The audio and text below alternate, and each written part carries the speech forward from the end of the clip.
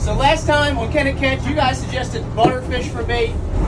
First, we're gonna check the shrimp head pod as our control group and see how it stacks. Shrimp, four crabs.